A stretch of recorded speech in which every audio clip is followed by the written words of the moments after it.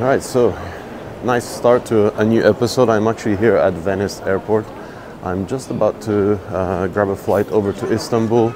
I've been invited to check out a really cool collection and a car shop there uh, called Junique Designs. They're flying me out to see what basically they do out in Istanbul, and I'm really excited because it's the first time I actually go to Turkey. So um, I'm just gonna check in and uh, head over to uh, a new part of the world for me.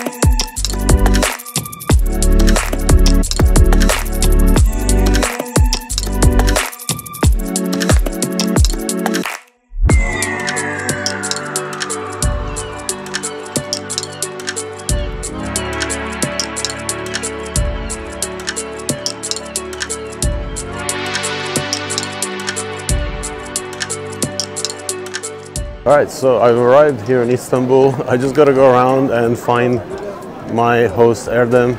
Uh, I think I may have come out the wrong side. He's probably waiting over there, so I'm gonna keep walking until I find. have to get out of here.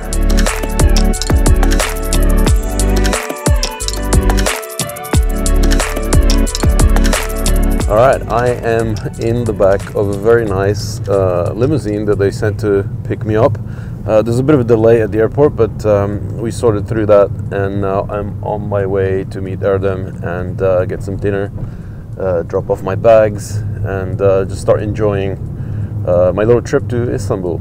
Enjoying the back of this limo. It's very dark in here, but I do have uh, kind of like a Rolls Royce headliner effect going on here. I have YouTube on the big screen, and I have lots of space to stretch out and we're gonna get ready for uh, my first night here in Istanbul. Okay, so I'm here with Erdem and we met up and it's now time to head to some uh, local food. Yeah, correct. Turkish restaurant Turkish restaurant, for kebabs. and then we can chat of uh, you know what we got planned for the coming days because you got a lot of stuff to show me yeah, yeah. and uh, it's going to be basically kind of indulging in local car culture because I hear it's quite unique and he's got some really unique cars. So we're going to get busy with that. All right, this is day two in Istanbul. I'm just about to go down. Erdem is coming to pick me up. We're going to go and hit up his shop, Junique Designs, uh, check out some of the builds he's been working on and some really cool customer cars. I'm really excited to see what uh, he does here in Istanbul. So we're going to go and do that right now. And yeah, by the way, I'm staying in a really sick hotel here just outside of Istanbul. Um, Erdem's shop is actually five minutes away, which works out really well. And uh, you know, I'm really interested to see what car culture here is all about. I've heard some stories from Erdem last night that it's really hard to import cars that are not like 40, 50 years old from Japan and other countries. So the market is very much uh, fueled by what actually was here present in the day uh, in Turkey, as well as stuff that comes in from Russia uh, with some rather suspicious uh, channels. But uh, we'll get into that uh, as soon as we get to his shop and check out his establishment and do some cool car stuff. This is what I'm here for. This is what I travel for. This is what I do for you guys. So hope you enjoy it. Hope it's going to be a really nice day. I'm looking forward to it. Uh, as I am the food because the food here, if it's anything to go by what I had last night, is absolutely amazing. So uh, we'll definitely do some of that too. We have a, a police car escort today. this is sick.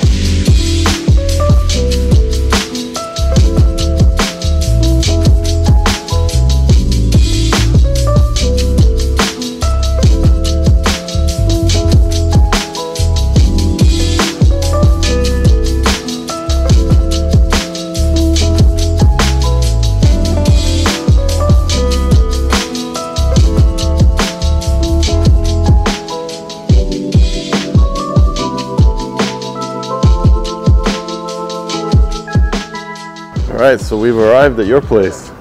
Finally. Finally, look at this selection of cars. This is awesome. I'm impressed. this was the one uh, what I was telling about my first car. Oh, the Hachiroku that Something you like 20 years ago I bought this car. that had chickens instead of an yeah, engine. yeah, yeah. This is it was like barn find. Unbelievable. Now, uh, looks much better. And this is Erdem, by the way, and you own Junique Designs. And how, how many years have you been operational here? Something like 15 years. 15 years. Yeah, 13, 15. And you import all these Japanese brands Yeah. as well as other stuff as well. Wow.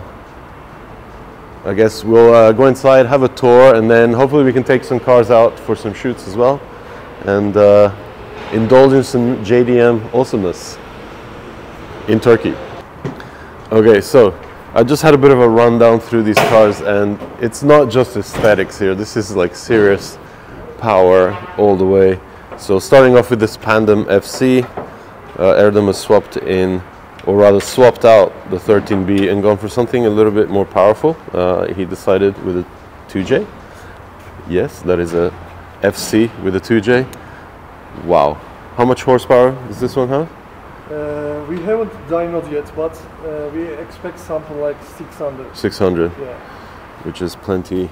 I'm just surprised it actually fits under the sleek hood lines of the FC. Uh, it looks super cool. I think we should definitely take this out for a proper shoot. Yeah. I gotta pick cars to shoot. It's gonna be so difficult because everything is so special. Uh, next up, the Hachiroku that you did a barn find and Yeah. restored. This runs a turbo 4A, right? Yes.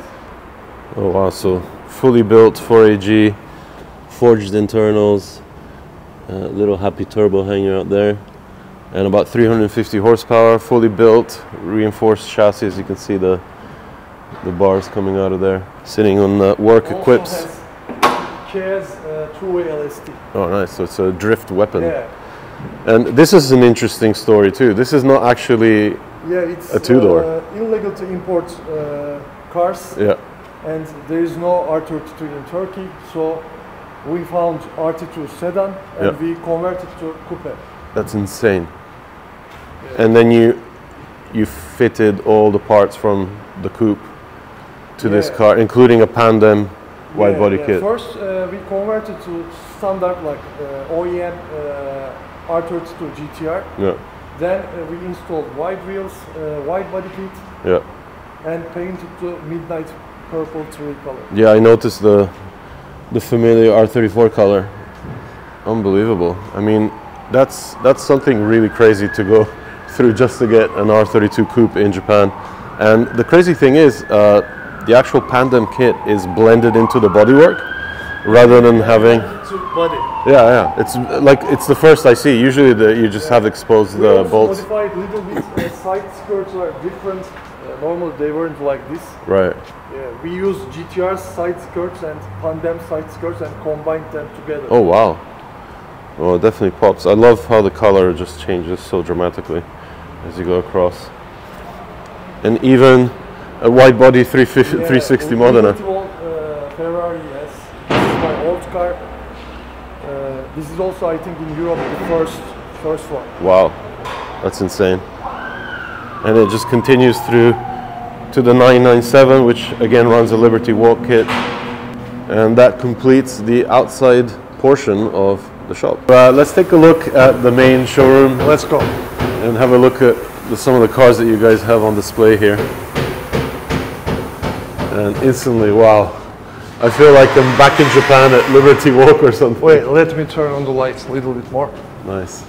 Wow. Better this way. Nice shop. I have to say, I'm really impressed because you even have the old and new. Uh, this is 996. Uh, we also built 997. This is our second build. So basically, you really bring in, you know, legit brands to, to Turkey. You, Yeah, yeah. you Uh, really focus on authenticity and just getting that culture Yeah. to come we here. are uh, strictly against the replica, yeah. uh, and it's like a big war. Like I am the only one Yeah. who is trying to sell and build like original products uh, and original cars. Uh, but the market is not this much uh, good, Yeah. so it's a little bit hard. But uh, we will stay like this No, no, you, you go for it because Yeah. that's we really appreciate that stuff. You know. Uh, because know- we know how hard to design these kits, how much efforts do they give. Uh, we respect to designers, Yeah. we respect to companies. But also, you know, brands like Work and Raise and you know every other body kit manufacturers have really big trouble Yeah. stopping reproductions being made in China and yeah, across yeah, Asia. yeah, so yeah, yeah. Here, all it's all the same. I go to uh, internet sales, uh, and I, what I see, they say like, "Oh, Liberty Walk kit, it looks like shit, so bad looking, and the price is maybe ten times cheaper than what we uh, pay." Uh, people believe, people say like, "Oh, it's also Liberty Walk, it also looks good," but when you see a real product and No, replica, it's, nothing even different. comparable. It's a whole different Yeah. thing. Yeah. So all the new 996 running Work wheels, yeah. and it's a very deep purple, really cool. I actually remember shooting the first 996 they made back. God, it must be like 10 years ago now. We, we didn't uh, install the big wing. Uh, we wanted to keep it more simple, this car, Yeah. uh, because 997 we also has uh, John Player race livery Yeah. and big wing. So this one we wanted to keep like clean. Soon we will uh, install air suspension. We already uh, got the parts. Uh, so wheels maybe can change. Uh, the fitment will be better. Nice. And I see you have something really special here. This is a Ford Capri. Yeah, we converted uh, from standard Capri to uh, RS1. So you even did an engine Yeah. transplant on this. Everything, suspension, engine, exterior, interior, everything. Amazing. And casually standing FD. in front of an FD, and you were saying there is only seven FDs. Something like that. It's, it's so seldom. Uh, maximum nine, but uh, as I know, there is only seven. And you have one of them. Yeah, And you also have two FCs. yeah, and one FB. And you, you said that the first series of the FC, there's only two or three cars in Yes, two two cars only, and we have one of them. That's amazing. And what have you done to this one? We'll, we'll take a look later on, but it already has really nice. We Aero. ordered uh, work wheels for this car, uh, origin wide body kit, Yeah. and uh, we will change color to lava orange. Wow. Porsche's color, yeah. We will make uh, interesting car. We will change hood. There is like in Japan a brand called Scoot. We Oh yeah, I ordered. love the Scoot. Scoot Yeah. hood is the best for FCs, uh, FDs rather. And what a cool hangout space here with the TV area, the must-have game corner, drums. Sometimes uh, we play here. I play drums. My sister play guitar. Oh, My friends also sing. So we have cool- our like own little band. It's so a cool chill we, out we place. chill out. Yeah. Yeah, that's amazing. And you have all the the work wheels that you display here. Yeah, it's just for display. That's amazing. It's really cool to come to a faraway country like Turkey and see somebody really pushing, you know, bringing in legit products. This is limited edition Oh, Liberty, Liberty Walk Walk. steering wheel. That's so cool. And there's uh, another little section to the shop next Yeah, door. Should let's we go, let's have go. a look?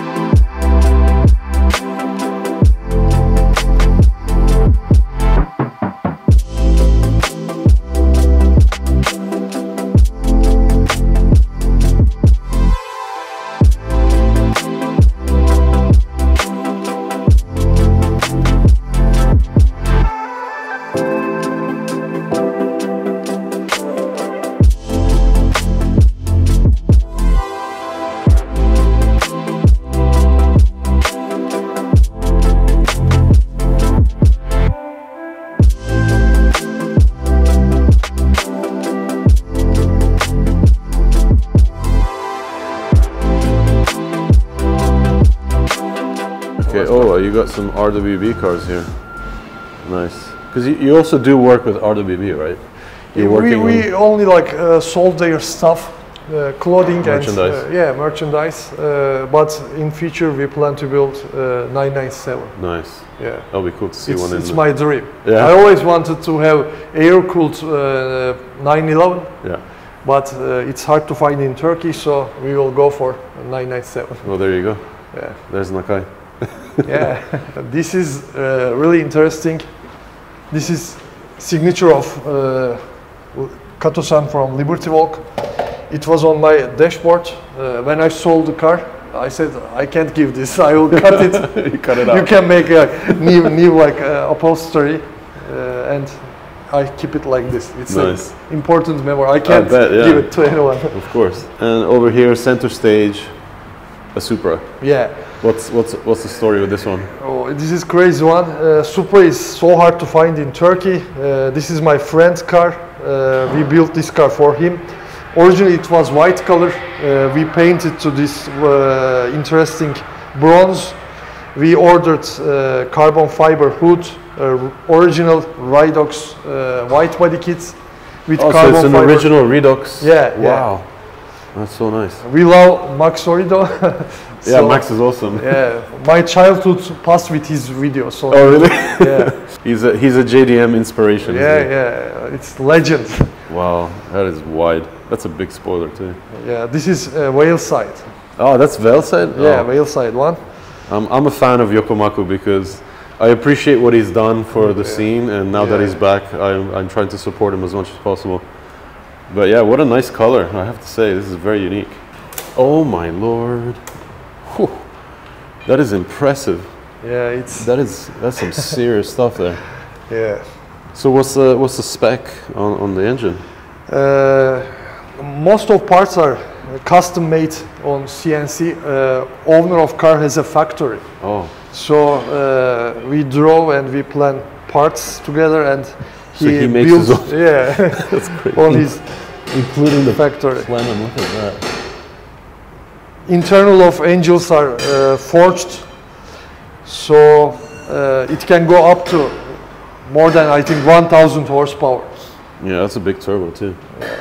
Precision. very, very big And what about transmission? Can the transmission take it? Or? now uh, as i know he ordered some bmw transmission Oh, like Yeah. the ZF? they Yeah, did? yeah, yeah, I've seen yeah. they do that now, the Yeah. conversions. it's, it starts to be popular in turkey so Yeah. uh, he will go for it Nice. now it has stock uh, supra transmission but we will change it again Super work wheels Work wheels, hiding the super calipers.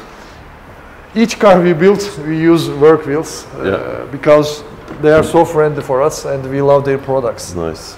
Oh, it's super clean inside here too. yeah. trd steering wheel Alcantara everywhere, across the dash, TRD steering wheel. custom shift knob carbon fiber uh, trims It's amazing. Look at all the. Oh man, I have to go the other side to have a look at those uh, Okay. modules. It's an interesting way to house these. Nice.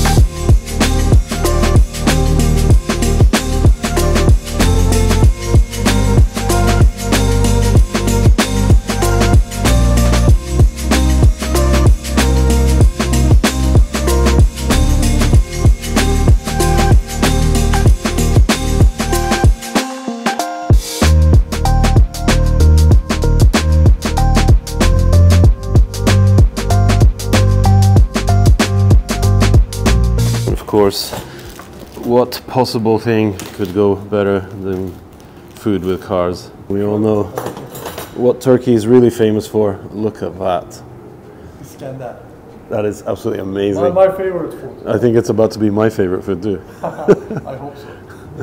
Okay, so I had a nice look around through the shop and I'm just gonna do a nice detailed pass at the cars uh, lined up outside now. Spent most of the afternoon chatting to Erdem and just understanding car culture here in Turkey, how it differs from you know what we're used to uh, in other sides of the of the globe, and uh, it's it just emphasizes how difficult it is to you know have cars like this FC and this Hachiroku, not to mention all the other stuff here lined up uh, outside the shop.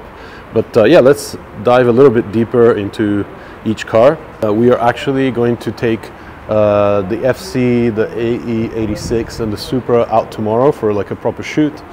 Um, but nonetheless, I just wanted to kind of touch uh, on the details while we're here. We have a bit of time, so let's start with the FC. Okay, so obviously what makes this car really special is the fact that it's running a Pandem over fender kit, which really transforms that front end with those additional four center projectors.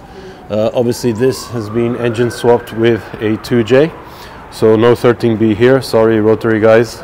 Uh, but uh, you know, Erdem wanted to create something unique something different, something very powerful. So uh, the 2J was a bit of a no-brainer. And like I mentioned before, I'm quite surprised that they actually managed to fit it uh, within the confines of you know the actual stock hood here. Uh, but uh, there you go, they managed to do it. Along with all the fabrication work, they've uh, gone ahead and done some cycle fenders, so this car potentially could be turned into a bit of a drift uh, weapon. It runs a top-mounted Garrett turbo and pushes out decent power. We'll find out all the details tomorrow when we take it out. Here on the side, I did notice that it's running some big AP Racing six spots up front and a carbon fiber panel for the sunroof and a very simple, nice, comfortable interior. We do like a bit of simplicity and from the back it's got that unmistakable Pandem look with that almost ducktail spoiler. All right, moving over to the Hachiroku.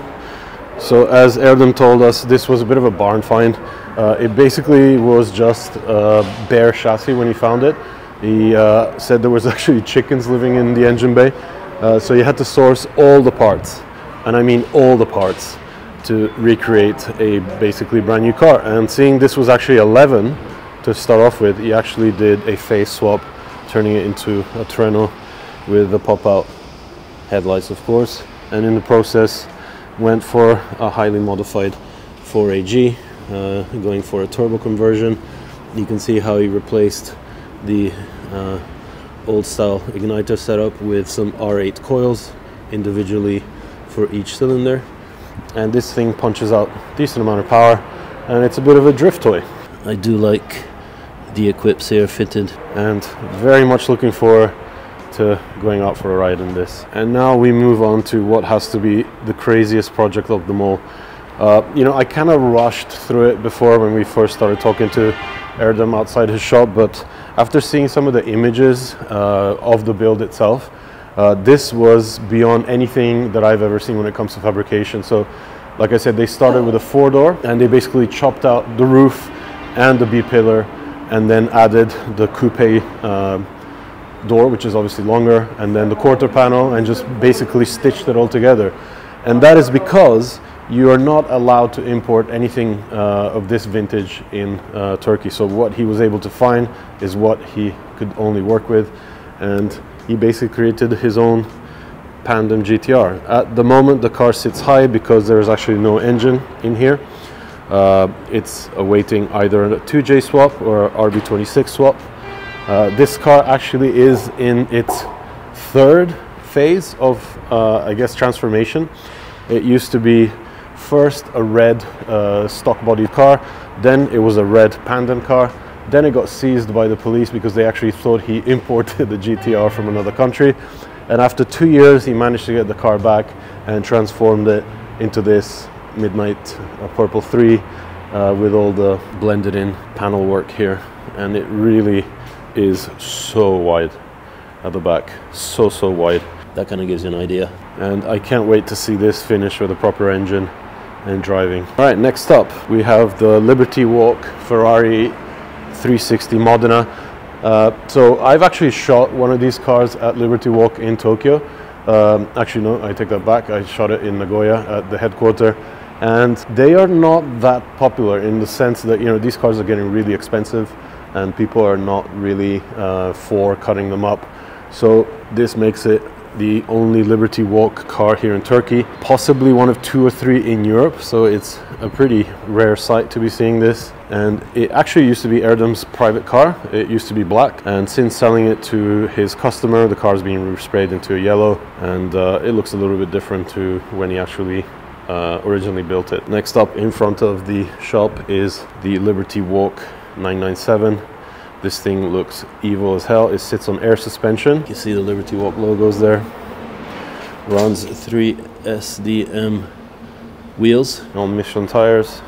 And of course, that rear end is finished off with a nice little ducktail. And to end up the lineup, we have the Z32 here. This is actually something they're starting to work on today. It's gonna get a bit of a transformation. I'm not gonna give it away. Uh, but we'll definitely have to come back and reshoot this when it's done. Um, there's so much I want to shoot that these guys have built. They build a ton of cars here and then end up selling them off to customers. So uh, I think I'm just scratching the surface of what uh, Junique Designs has actually created here in Turkey. But uh, I'm a big fan of Z32, so kind of keen to see uh, what's going to come of this one. Right behind me, like I mentioned before, is a few other projects that are coming up. I'm not really sure what's happening with the Alfa 75. I have a very special place in my heart uh, for this car. It used to be uh, basically the car that I learned to drive in properly, my dad's old family sedan, sitting next to another AE86 that Erdem has picked up. And I was looking at these two and I was kind of impressed at how similarly sized they are. I always assumed that the AE86 was way smaller, but the 75 is pretty compact itself. Okay, so I'm a big fan of 928s. Of course, this was a car that you know uh, Porsche thought was going to replace the 911. It really didn't, but then again, it created another niche uh, for Porsche. You know, uh, kind of showing that they can build other cars other than the 911. And this has a bit of a following. Uh, we actually saw um, the base model of the Nardone Resto Mod in Italy being built. More on that very soon, possibly on my next visit here to Europe. All right, so I'm gonna head inside the the secondary workshop here or display room and have a little walk around on that crazy Supra. Okay, so this is car number three that we are gonna take out for a shoot tomorrow. Uh, this is quite special because, you know, like everything that Junique uh, Design does here in Turkey is that they've stuck to legit products. So the car runs a wide body uh, Ridox kit and it's mated to a gigantic Veilside rear spoiler so big up to Yokomaku-san. You can actually see the Veilside logo under there. Do not ask me why they put the emblem there. And this thing is a beast. We had a look at it before and it is just fully built across the board here, starting off with the interior. Alcantara and leather everywhere, TRD steering wheel, all the gauges, and then ending with this impressive, fully built 2J, cranking out a thousand horsepower on the highest boost setting. Okay, so that wraps up the first video from Junique Design here in Istanbul, Turkey. Uh, we are actually going to take three cars out tomorrow, as well as hitting up the local track, which is where F1 is held. Uh, there's a bit of a museum there that we're going to go check out. So uh, there's going to be some awesome stuff coming up on the channel from an area of the world that I never thought I would actually visit. So big up to Erdem for inviting me out and uh, make sure you check back soon because there's a lot of stuff coming.